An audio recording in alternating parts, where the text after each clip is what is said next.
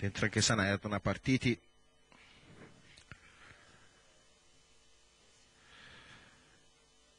Va in vantaggio la Papessa nei confronti di De Jointi, quindi Eleazar Parminion, Barbareschi dal Nebol Sorniona, quindi Sana Erna più indietro è Jimmy Jet, autore di una partenza non brillantissima.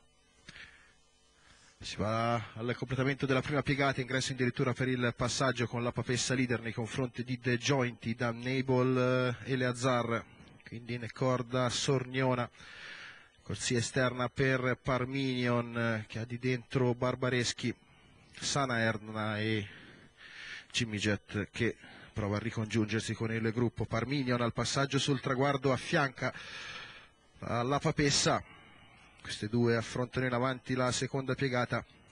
Tra coppia in, eh, alle spalle con De Jointi a largo Eleazar all'interno viaggia Dan Nebel quindi Barbareschi Sorniona Sana Erna in coda sempre Jimmy Jet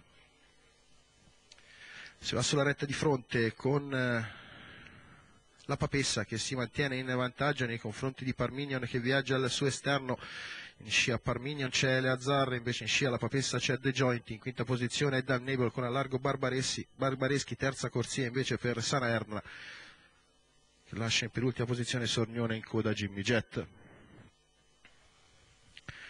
Insiste all'esterno della Papessa Parminion quando si affronta la piegata conclusiva, prende qualcosa di vantaggio all'avversaria. Terza posizione per De Jointi che è all'interno Nebel e all'esterno Eleazar, quindi Sorniona con a largo Sana Erdona. Quando i cavalli si apprestano ad entrare in addirittura è passato Parminion nei confronti di De Jointi che si lancia al suo esterno.